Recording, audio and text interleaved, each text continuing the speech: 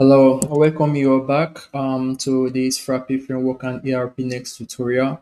Once more, my name is Anthony Emmanuel, and this time around, I'm going to talk about, uh, show you how to work with uh, Frappe actions and links. Um, from the documentation in the link um, above the browser, you have um, um, a title that says actions and links, and all it does is help you create um, new document in a different doc type um, say you are in customer doc type and you want to create a sales invoice, you click on create sales invoice and it just create it. Um, without further description, I'm going to jump straight into a doc type to show you what I'm talking about.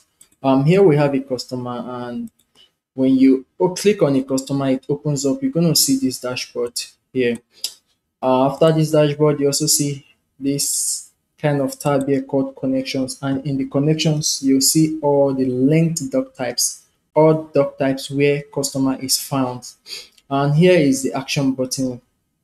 Um, sorry, not the action, the link button. What it does is it enables you to create document. And once you create the click on create document, it fetches this customer name and automatically inserts it into the document.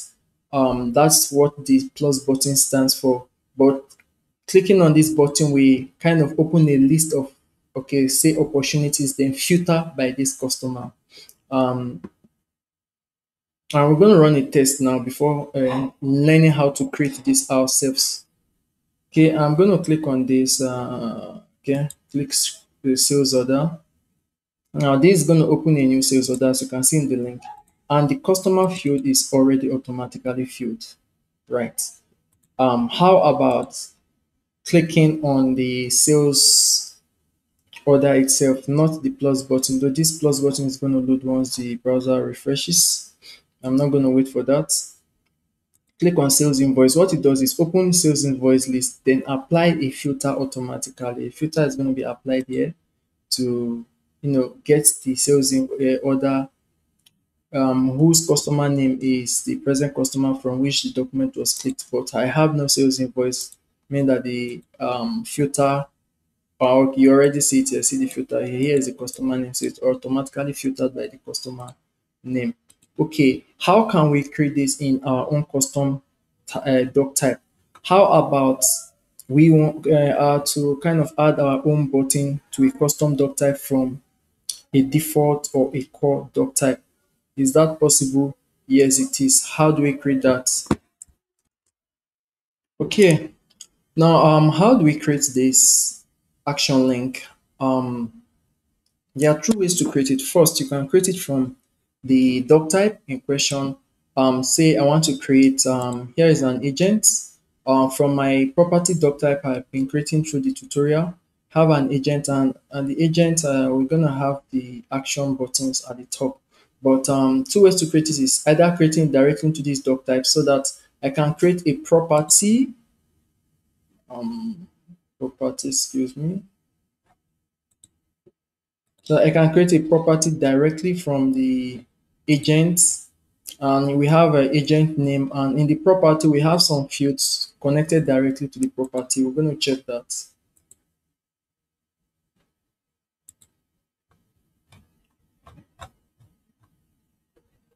Yeah, we have this field agent directly connected to the property mean that from this agent field here, um, doctor, I'm able to click a button. We see property button here. You click it, it opens this property for you and automatically fills the agent. Um, we're going to go right, dive right into it, but I don't like the look of this. I'm going to break this into in half. I'm going to edit this doc type.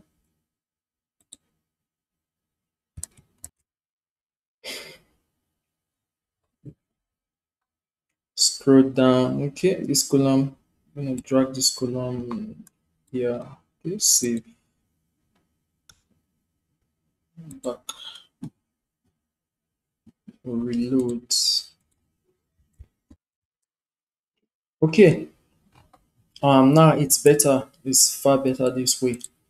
Okay um i'm to dive straight into the doc type. We have the agent doc type i'm to edit the agents doc type so we can add the action links edit um if you are in production you can use customize, but since I'm in development, I'm going to use edit doc type directly.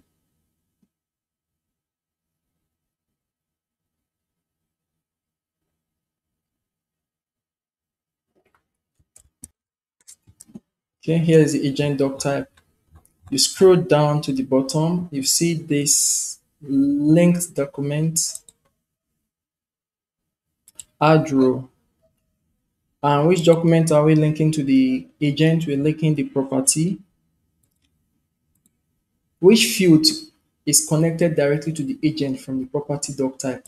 Here for my property, the field is called agent. I'm going to add it, agent. And where do you want to add it as kind of a group? I'm going to add it as a property. You see what that looks like. Save. Okay, that's all right. Now this has been added. You can open an agent to see what we get. Agent lists. Here are agents. You're going to click on any of them and you see connections showing you have this group here is what you see as this group the link document is what you see here as property. And this number here means that this agent has four properties attached.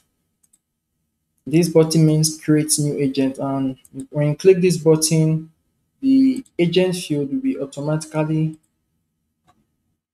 filled. And here you have it. The agent is already automatically filled. We go back. Um, this is to filter the properties attached to this agent. And you see the filter already appeared. And you can see it, these four properties is attached to the agent. I'm going to clear the filter and go back. And you can do other things, but um, how about doing this manually, not from the doc type? How about not adding it to the doc type? Um, you have your app and you try to ship your app to production, your app should automatically go with this thing rather than coming in here to edit it uh, using customization or directly into the doc type.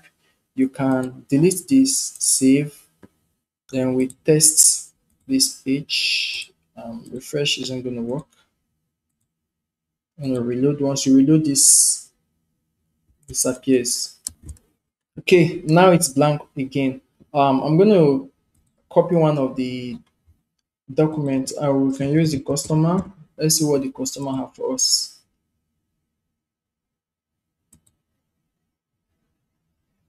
Okay, I'm going to copy everything from this um, overview, this heat map, down to these connections. Can go straight to your doc type, open ERP next, ERP next, scroll down to selling, a doc type, customer, yeah, we have a file called customer underscore dashboard. It means the doc type underscore dashboard.py in the doc type folder.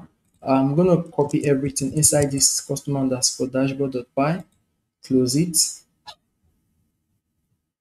close the entire ERP next, open the custom uh, uh, Estate app in the doc type,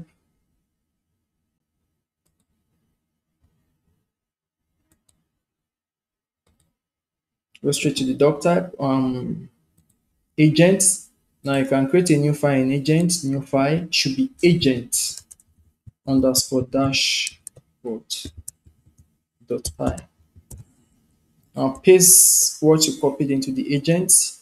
You delete this uh dictionary content.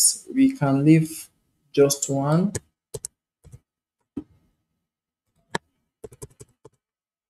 Um, here is for the list of doc type you want in a group. Uh, let me show you what this means. Um, here you have the support. Support is a group and you see all the doc types under support. Same for others, you can see all the doc types. Like this pre-sales, you see the two doc types, opportunity and quotation. Here you have it as pre-sale. You can also check it from the file. You see here, pre-sales, we have opportunity and quotation pre-sale opportunity quotation.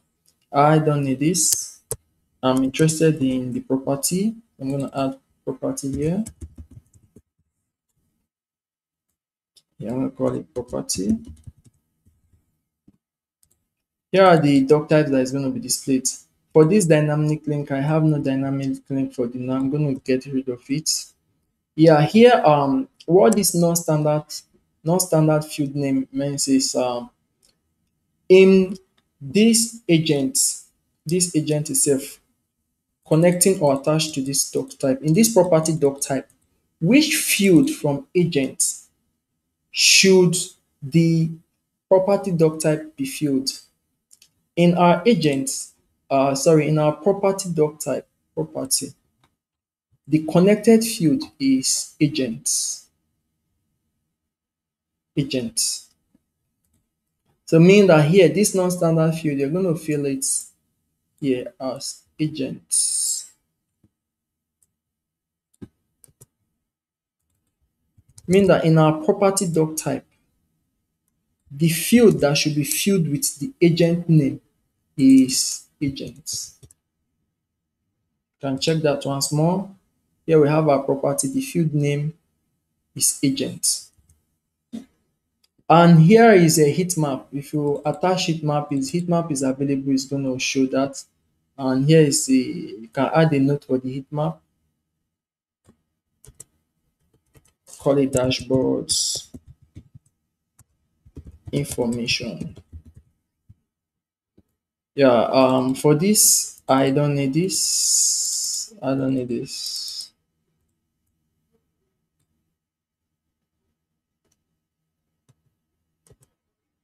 Except um just gonna call it agent.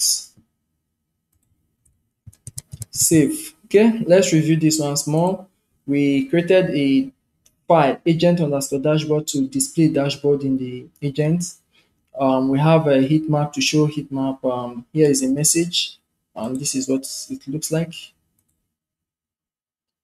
In customer, this is a heat map. This date, this message below is what this stands for. This message, yeah. Then this non-standard field is uh, where this field here where the agent should be automatically filled when we create property from agent page or doc type. And here is the list of doc type you are going to show on the action links. I'm going to show here. And we can save this. Remember or recall, please restart your server since you added a new file. Once you're done with that, you can go straight to your agent page and reload.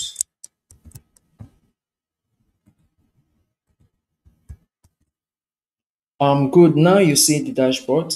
You have the heat map, which um, we know data has been passed, but that's not important. You see the message, dashboard information, dashboard information.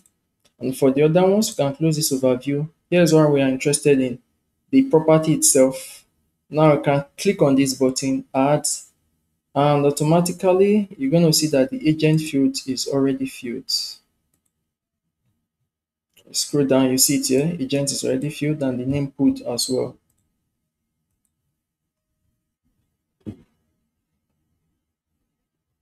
I can click on another agent. Okay, um, does this agent have any property? Yeah, one property is attached to this agent. And when you click on this, it's going to filter by that agent name. You see the filter has already been applied. Okay, that's it. You can as well add as many doc types are attached to your, you know, doc document. You can add them and you see everything here. Now, when you ship this code, automatically this appears. You do not need to go into the doc type itself to edit this linked document. And that's it for um, the document link. So we might go straight into this action link, but for the now, we just explain this. I hope you understand. If any question, you can drop it in, down in the comment box below. And once more, my name is Anthony Emmanuel. Thank you very much, and please do like and subscribe.